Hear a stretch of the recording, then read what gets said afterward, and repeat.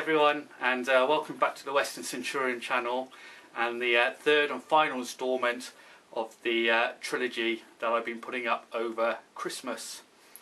Um, welcome to Christmas Eve first of all. Hope you're all having fun, hope you're all excited. I know I am, waiting for Santa to come tomorrow and see what he's brought for me. Somehow I don't think it's going to be any locos but we can all live in hope can't we? Um, but yes, so today um, I know I said that part of it's going to be um, to do with eBay and alcohol. Believe me, not a good mixture. So I want to tell you and share that little story with you. Pretty exciting anyway. Um, but first of all, I thought I'd explain to you um, why the Western, Centur Western Centurion channel is called Western Centurion. Um, so I'll take you back to September. I'll try and get through this quick. But back in September, it was my birthday on the 12th. And on Saturday the 13th was the Swindon Railway Model Exhibition at the Steam Museum. Uh, so my wife and I went there, had a lovely day. And as you do when you go to railway exhibitions, you try and buy something as a memento. And uh, I was just browsing around the uh, Cheltenham Model uh, store and uh, noticed something snuggled in amongst all the other locos. And the name on it caught my eye. Um, and I thought, I remember that name from somewhere. So I picked it up and uh, had a close look at it. And it was this the Western Centurion D1026. Fabulous model. But again, why Western Centurion? I'll try and get that, I hope that's got into focus for you. But yes, why the name Western Centurion? Well, you see, in the last uh, video, update 2, sorry, uh, from yesterday, um, I showed you the maps, didn't I? And uh, Wootton Bassett Junction and the fact that I used to sit on the platform with the goods shed. Well, it was one of those days I sat there and D1026 Western Centurion pulled up on the siding, pulling freight, and just sat there, uh, ticking over, waiting for the intercity to go by.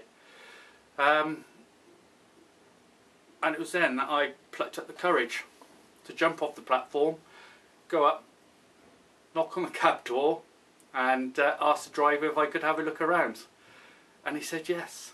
So um, he let me up into the cab, let me sit in the seat and I remember he explained to me the instruments, what they all did. Um, and the next thing he did was to take me on a guided tour down here along the little cat walkway or um, I remember that it was all like um, metal grids um, which you could see through. The two really big Maybach engines one here one there. Um, so that was what were they? They were about 1300 horsepower each uh, with a total of 2000 when they were pulling. So a lot a lot of pulling power there. And um, whilst on tick over, the, the whole thing was shaking. I remember that so clearly. You held onto the handrail inside, you could feel it vibrating. And uh, the noise, my God, that noise was incredible. Um, and the smell, uh, I'll, I'll, never forget it. I will never ever forget that day. And uh, so when we got home, I took it out of the box, and uh, I had some track set up in the in the dining room on the floor so I ran her on that and it was it was fantastic. And it was after that when I decided I want to share all my experiences really on uh, YouTube with you lot. And uh, that's why I decided to call the channel Western Centurion because that name does actually mean something to me from my childhood. Alright and the good news is is that after this little bit of the video we're going to do a running session and uh, D1026 will be running on the bit of track right behind me. Okay, now get on to the second part. eBay. Right, a few weeks back, probably about six weeks ago, on a Saturday I believe it was, um, my wife Debbie and I were having a good day, having fun. Um, I think I just finished doing um, a layout update in here. And when I went out for lunch she had a nice cold beer waiting for me. So really enjoyed that. It was a lovely day, it was a bit sunny outside as well. And um, we just got to playing some games and uh, had a few more drinks. Um, then yeah we had a couple more after that I do believe. Um, and then maybe another four or five after that and it was getting to early evening. Um, and I got onto eBay. Now I previously looked on eBay um, looking for some more westerns uh, well class 52s um, and what I found was the Western Enterprise the D1000 which was the very first enterprise to roll out of uh, very first Western to roll out of Swindon Works back in 1962 I believe.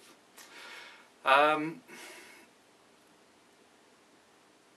it was nice.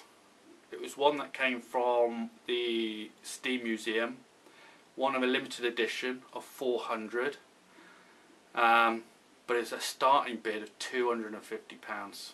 It's like geez no no, that's really nice. I would like it, but no, out of the question. So I started looking for um, something similar, and I found um, what's it called, a Helgin, Heljan, or however you want to pronounce it, um, Helgin. Well, I'm sure you all know what I mean, but I hope I pronounced it correctly anyway. And um, I found one for £61 I bid on it and I think it went up to about 76 or 80 pounds and I won it. And there it is. So I now have alongside my Western Centurion I now have the very uh, or a copy of the very first D1000 to roll out of Swindon Works the Western Enterprise in desert sand livery now I was unsure about the front because I never thought they had yellow ends. Um, but I can't find anyone on the internet that do yellow ends. Detailing's not that fabulous on it. I'm a little bit disappointed to be honest with the price that I've paid. Um, but so yes, yeah, I was happy with that and um, the the urge to actually buy a Western Centurion had now been uh, Western Enterprise had now been satisfied. So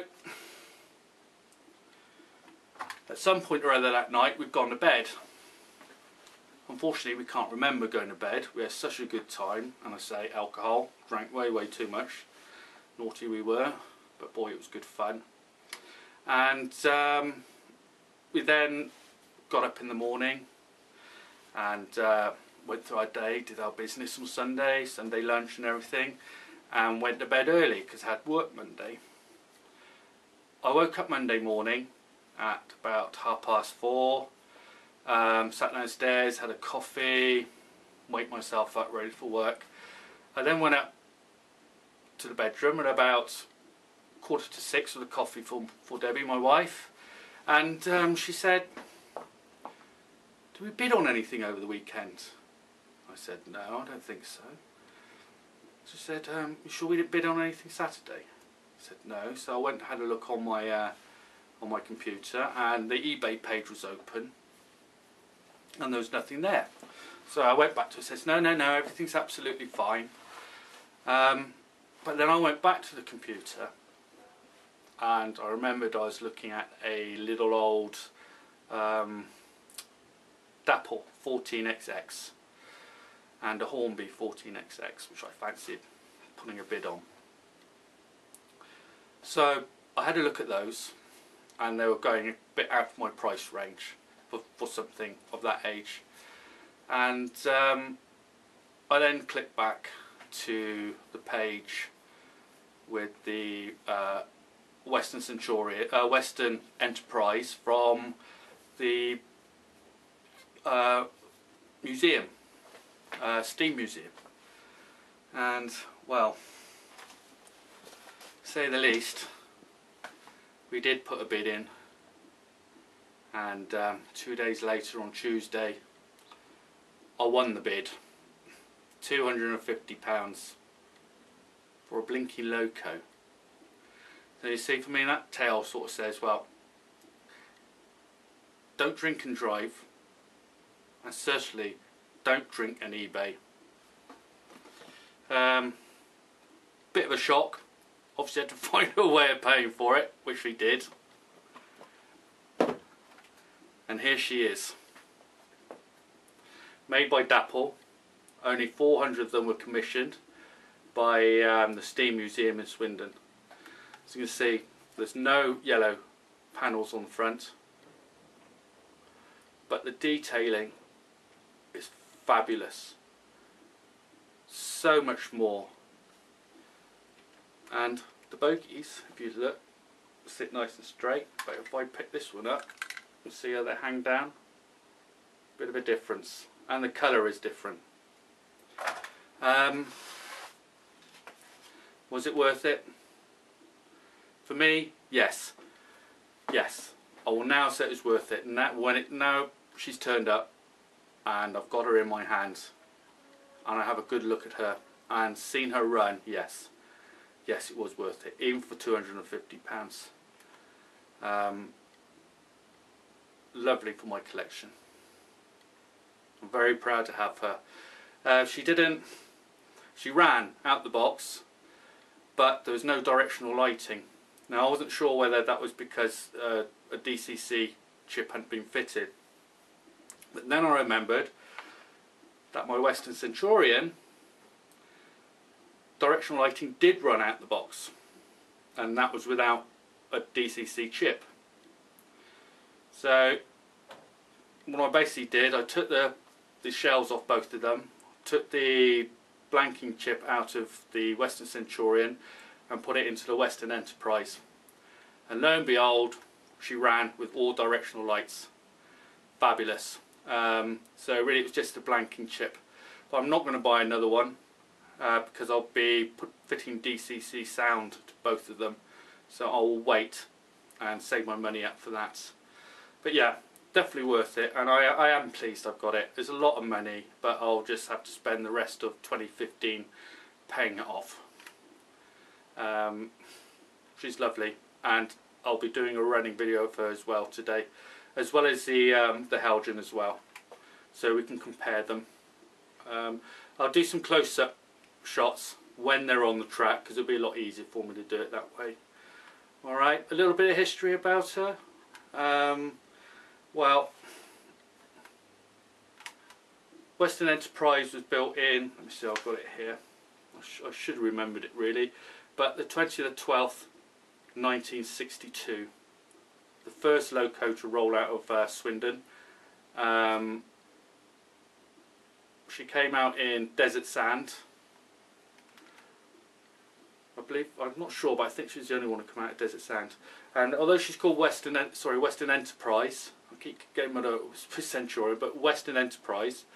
Um, she was originally going to be called Cheddar Gorge because um, during the, the design process they weren't going to be um, they were going to be called uh, from uh, place names in England uh, but towards the end of completion they, they decided not to and hence Western Enterprise was born. Alright, so what I'll do now, I'll get them on the track, okay, and I'll give you a little bit of running session. It'll be my first proper running session on a video. They've all been tested, obviously, but um, sharing the running with them, this is the first time to show you. Okay, so you bear with me, I'll get everything set up and I'll be back again. Okay, see you in a moment, bye. Welcome back again. Um, as you can see, I've got three locos now set up on my fiddle yard. actually managed to put it to some use now. Um, I have Western Centurion is on your left, I suspect you can tell by the blue and the full yellow ends. The Heljan uh, Western Enterprise is in the middle and the Dapol Western Enterprise is on the right. Um, what I do, I do a running session for each. I'll just go around the track once, um, which I'll temporarily put up here just for this purpose. Um, so you can see the difference between the three, okay? To be honest, when running there isn't much, but for the detail there's quite a bit. Alright, so let's get started. We'll take Western Centurion out first, shall we? And off she goes.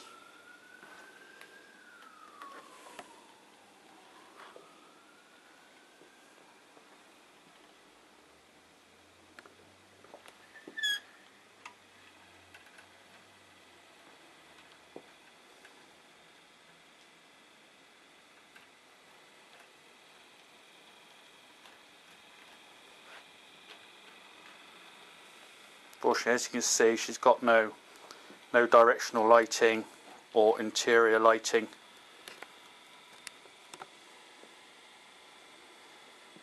But she runs very smoothly at low speed.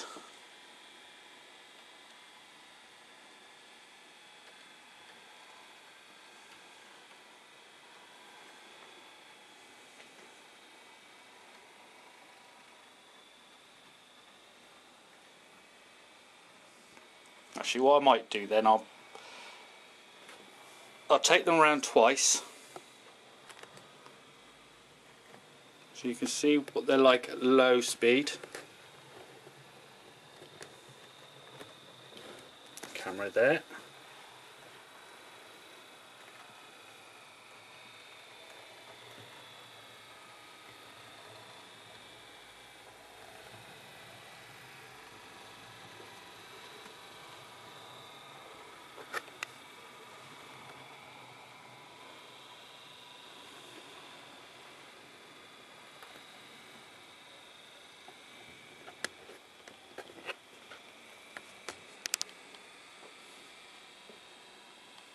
Now what I'll do, I'll go and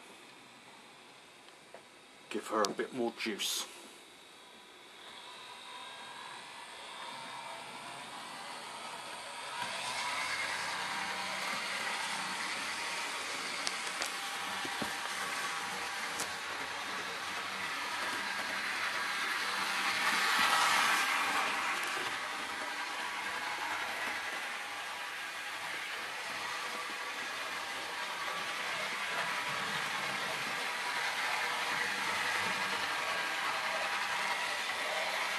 Bit hard to keep up by hand.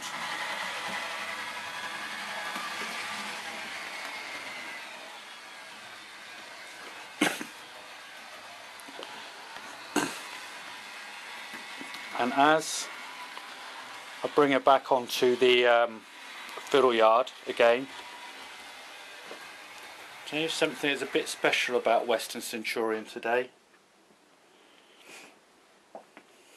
change points because it is actually her birthday. 51 years ago today she rolled out of Swindon Works. So 1026 51 years ago today was born. And um, but sadly she was uh, scrapped in 1976 um, nothing, nothing's left of her not even the nameplate apparently and uh, Western Enterprise was born uh, 52 years ago on the 20th of December so, which one shall we take out next then? We'll come around, we'll change points. We'll take out the Heljan, shall we? Let's have a look.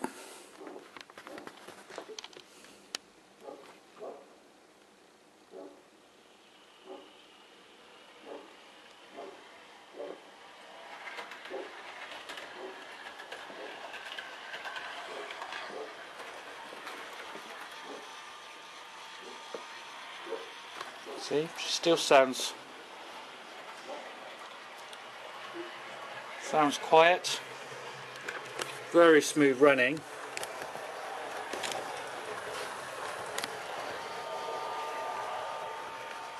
But no directional lighting. No cab lighting, only uh, nameboard lighting.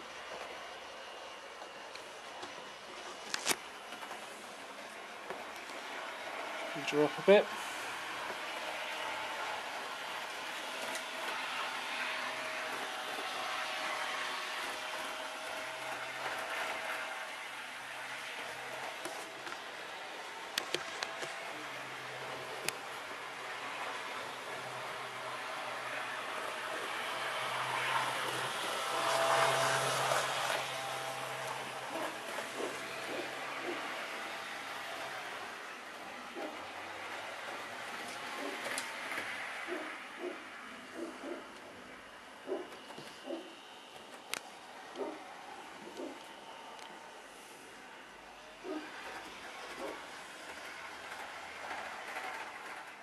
Okay. So we'll bring the halogen back in.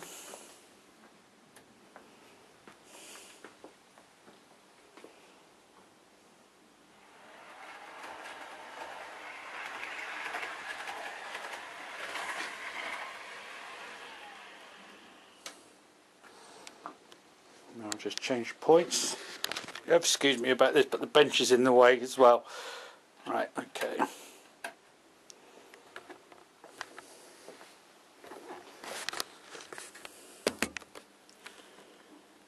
Here we go.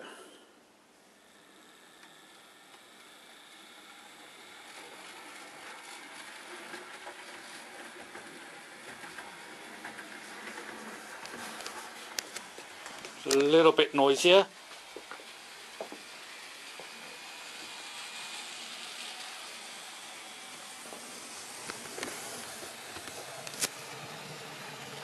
She does have directional lighting and cab lighting.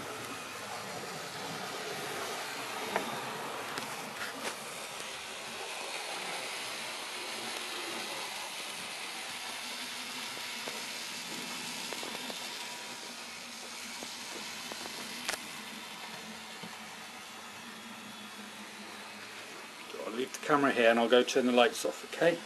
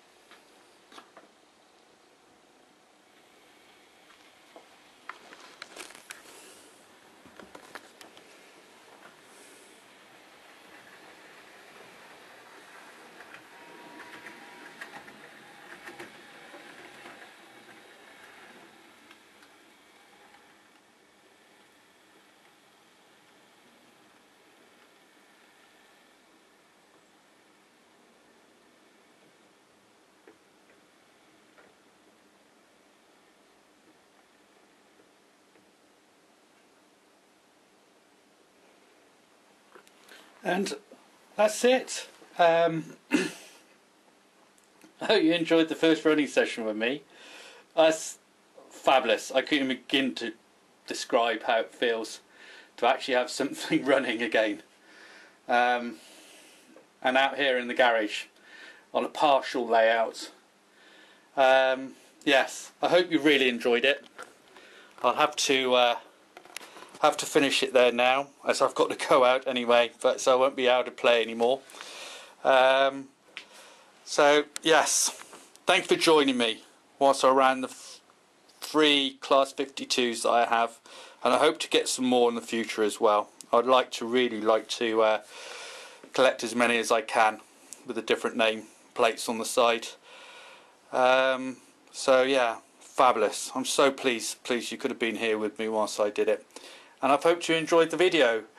Um, I suppose really lastly, it's just for me to say um, Merry Christmas and I hope you all get what you want this year and I wish you all the best for 2015 and keep those videos coming. I really enjoy watching them. They they are fantastic, and um, and I will do some uh, um, reviews on these locos once I've sussed out how to do it properly and how to get some good focus pictures. Okay. So until then, Merry Christmas, everyone. Thank you very much for joining me, and uh, all the best for 2015. And I'll see you then. All right. Goodbye.